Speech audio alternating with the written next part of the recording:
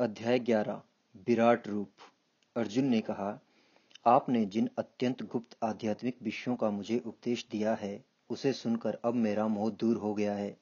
हे कमलनैन मैंने आपसे प्रत्येक जीव की उत्पत्ति तथा लय के विषय में विस्तार से सुना है और आपकी अक्षय महिमा का अनुभव किया है, हे पुरुषोत्तम, हे परमेश्वर, यद्यपि आपको मैं अपने समक्ष आपके द्वारा वर्णित आपके वास्तविक रूप में देख रहा हूँ, किंतु मैं यह देखने का इच्छुक हूँ कि आप इस दृश्य जगत में किस प्रकार प्रविष्ट हुए हैं।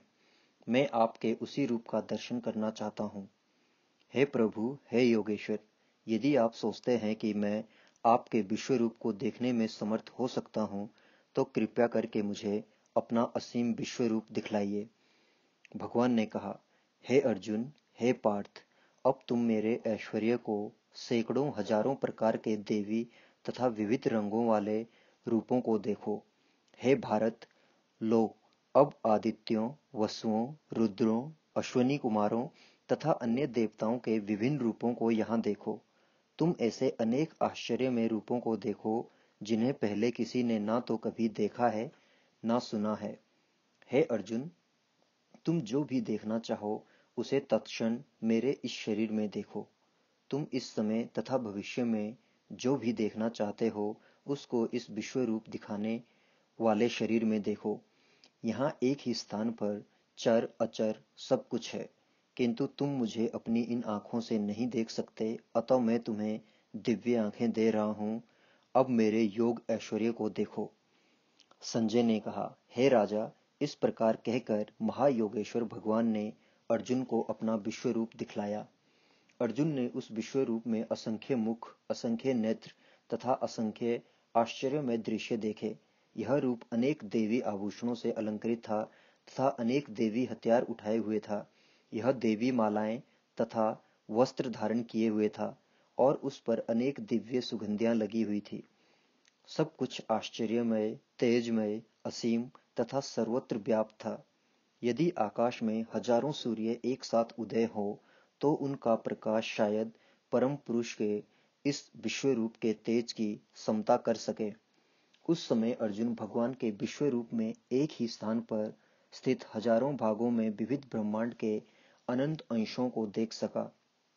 तब मोहग्रस्त एवं आश्चर्यचकित रोमांचित हुए अर्जुन ने प्रणाम करने के लिए मस्तक झुकाया और वो हाथ जोड़कर भगवान से प्रार्थना करने लगा। अर्जुन ने कहा, हे भगवान कृष्ण मैं आपके शरीर में सारे देवताओं तथा अन्य विविध जीवों को एकत्र देख रहा हूँ। मैं कमल पर आसीन ब्रह्मा, शिवजी तथा समस्त ऋषियों एवं दिव्य सर्पों को देख रहा हूँ।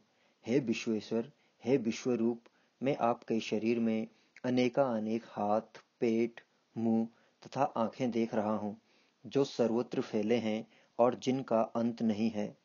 आप में ना अंत दिखता है, न मध्य और न आदि। आपके रूप को उसके चकाचौंध तेज के कारण देख पाना कठिन है, क्योंकि वह प्रज्वलित अग्नि की भांति अथवा सूर्य के अपार प्रकाश की भांति चारों ओर फैल रहा है। तो भी मैं इस तेजोमय रूप को सर्वत्र देख रहा हूँ, जो अनेक मुकुटों, गदाओं तथा चक्रों से विभूषित है। आप परम आज्ञ व्यय वस्तु हैं। आप इस ब्रह्मांड के परम आधार हैं। आप अव्यक्त तथा पुराण पुरुष हैं। आप सनातन धर्म के पालक भगवान हैं, यही मेरा मत है। आप आदि, मध्य तथा अंत से रहित हैं। आपका यश अनंत है। आपकी असंख्य भुजाएँ हैं और सूर्य तथा चंद्रमा आपकी आँखें हैं। मैं आपके मुख से प्रज्वलित अग्नि निकलते और आपके तेज से इस संपूर्ण ब्रह्मांड को जलते हुए देख रहा हूँ। यद्यपि आप एक हैं, किंतु आप आकाश तथा सारे लोकों एवं उनके बीच के समस्त अवकाश में व्याप्त हैं। हे महापुरुष, आपके इस अद्भुत तथा भयानक रूप को देखकर सारे लोग भयभीत हैं। देवों का सारा समूह आपकी शरण ले रहा है और आप में प्रवेश कर रहा है। इनमें से कुछ अत्यंत भयभीत होकर हाथ जोड़े आपकी प्रार्थना कर रहे हैं।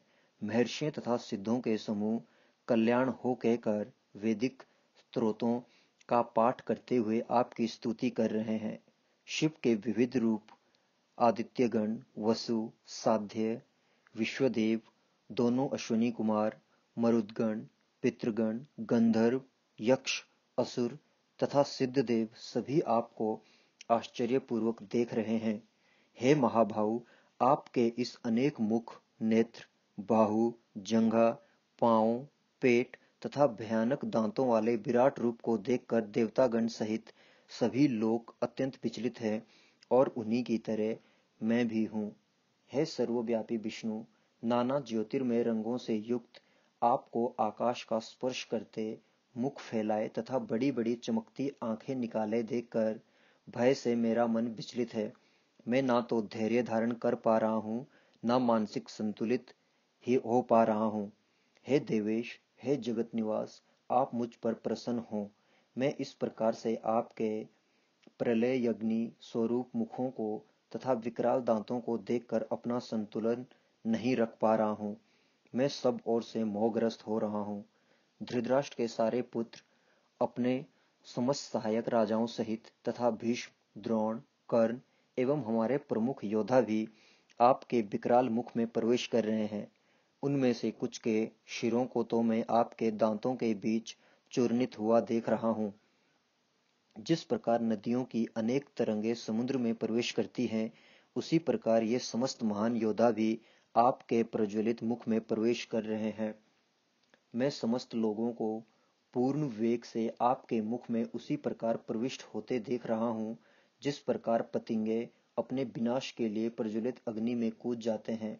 हे विष्णु मैं देखता हूँ कि आप अपने प्रज्वलित मुखों से सभी दिशाओं के लोगों को निकले जा रहे हैं। आप सारे ब्रह्मांड को अपने तेज से आपूरित करके अपनी विकराल झुलसाती किरणों सहित प्रकट हो रहे हैं। हे देवेश, कृपा करके मुझे बतलाइए कि इतने उग्र रूप में आप कौन हैं? मैं आपको नमस्कार करता हूँ। कृपा करके मुझ पर प्रसन्न हो। आप आदि भगवान हैं। मैं आपको जानना चाहता हूँ, क्योंकि मैं नहीं जान पा रहा हूँ कि आपका प्रयोजन क्या है? भगवान ने कहा, समस्त जगतों को विनिष्ट करने वाला काल मैं हूँ और मैं यहाँ समस्त लोगों का विनाश करने के लिए आया हूँ। तुम्हारे सिवा दोनों पक्षों के सारे योद्धा मारे जाएँगे। अतः उठो, लड़ने के लिए तैयार हो और यश अर्जित करो। अपने शत्रुओं को जीत कर समस्त राज्य का भोग करो। यह सब मेरे द्वारा पहले ही मारे जा चुके हैं। और है सवय साची, तुम तो युद्ध के केवल निमित्त मात्र हो सकते हो। द्रोण, भीष्म जयदर्थ कर्ण तथा अन्य महान योद्धा पहले ही मेरे द्वारा मारे जा चुके हैं।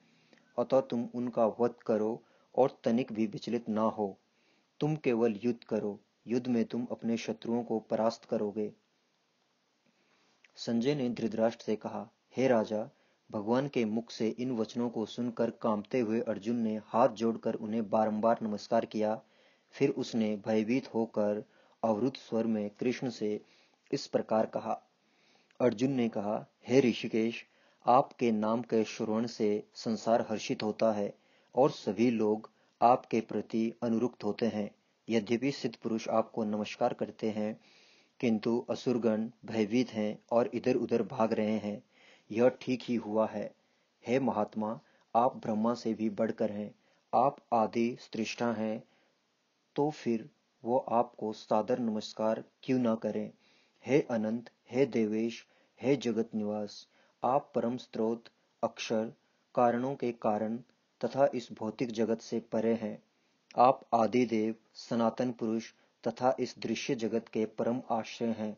आप सब कुछ जानने वाले हैं और आप ही वो सब कुछ है जो जानने के योग्य है। आप भौतिक गुणों से परे परम आश्रय है। हे अनंत रूप, यह संपूर्ण दृश्य जगत आपसे व्याप्त है। आप वायु हैं तथा परम नियंता भी हैं। आप अग्नि हैं, जल हैं तथा चंद्रमा हैं। आप आदि जीव ब्रह्मा हैं और आप प्रपितामा हैं। अतः आपको हज़ार बार नमस्कार है और पुनः पुनः नमस्कार है। आपको आगे, पीछे तथा चारों ओर से नमस्कार है। हे असीम शक्ति, आप अनंत पराक्रम के स्वामी हैं। आप सर्वव्यापी है, अतः आप सब कुछ हैं। आपको अपना मित्र मानते हुए मैंने हठपूर्वक आपको, हे कृष्ण, हे यादव, हे सखा, जैसे संबोधनों से पुकारा है, क्योंकि मैं आपकी महिमा को नहीं जानता था। अतः मूर्खतावश या प्रेमवश जो कुछ भी किया है कृपा करके मुझे क्षमा कर दें। यही नहीं, मैंने कई बार आराम करते समय एक साथ लेटे हुए तथा साथ साथ खाते या बैठे हुए कभी अकेले तो कभी अनेक मित्रों के समक्ष आपका अनादर किया है। हे अच्युत, मेरे इन समस्त अपराधों को क्षमा करें। आप इस चर तथा अचर संपूर्ण दृश्य जगत के जनक हैं। आप परम पूज्य महान आध्यात्मिक गुरु हैं। ना तो कोई आपके तुल्य है ना ही कोई आपके समान हो सकता है। हे अतुल शक्ति वाले प्रभु, भला तीनों लोकों में आपसे बढ़कर कोई कैसे हो सकता है? आप प्रत्येक जीव द्वारा पूजनीय भगवान हैं।